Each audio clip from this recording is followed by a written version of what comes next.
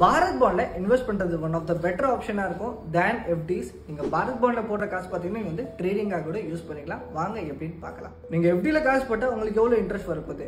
Five to six point five percentage which varies from bank to bank அதே இடத்துல one stop solution நீங்கள் பாரத் பாண்ட்ல மட்டும் invest பண்ணீங்களாலே உங்களுக்கு seven point seven five percentage maximum return வரும். நம்ம எப்படியில் காசு போட்டால் நம்ம காசு எங்கே போகுது? பேங்க் வந்து ஒரு கஸ்டமருக்காக லோனாக கொடுத்துருக்காங்க.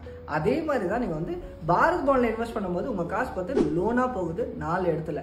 Indian Oil railway Power Grid NHA National Highway Authority of India so இந்த இடத்துல போகிறதுனால உங்கள் காசு வந்து ரொம்ப சேஃபாக இருக்கும். ரிஸ்க் ரொம்பவே ஆல்மோஸ்ட் இல்லாத மாதிரி தான் ninety nine point nine percentage சேஃபாக தான் ஸோ இந்த பாரத் பாண்ட் வச்சு நீங்கள் வந்து எப்படி ட்ரேட் பண்ண முடியும்னு பார்த்தீங்கன்னா நீங்கள் வந்து இந்த பாரத் பாண்டை நீங்கள் இன்வெஸ்ட் பண்ண காசு அப்படியே நீங்கள் வந்து பிளெச் பண்ணி ட்ரேடிங் பண்ணிக்கலாம். பிளெச் பண்ணும்போது சில பர்சன்டேஜ் பார்த்தீங்கன்னா அவங்களே வச்சுப்பாங்க. அது ஹேர் கட்டுன்னு சொல்லுவாங்க.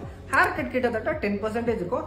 Ninety percentage of the investment போட்டு நீங்கள் அப்படியே ட்ரேடிங் பண்ணிக்கலாம். எங்கெங்கெல்லாம் ட்ரேடிங் பண்ண முடியும்னு பார்த்தீங்கன்னா மூணு இடத்துல நீங்கள் வந்து ட்ரேடிங் பண்ணலாம். ஈக்விட்டி மார்க்கெட்டை நீங்கள் வந்து இன்ட்ராடே பண்ண முடியும். ஆப்ஷன்ஸில் நீங்கள் வந்து செல்லிங் பண்ண முடியும். ஃபியூச்சர்ஸில் நீங்கள் பை அண்ட் செல் பண்ண முடியும். நீங்கள் சேஃபாக ட்ரேடிங் பண்ணோன்னா நீங்கள் கண்டிப்பாக ஆப்ஷன் செல்லிங் தான் பண்ணும். அது என்னோட ரெக்கமெண்டேஷனாக இருக்கும்.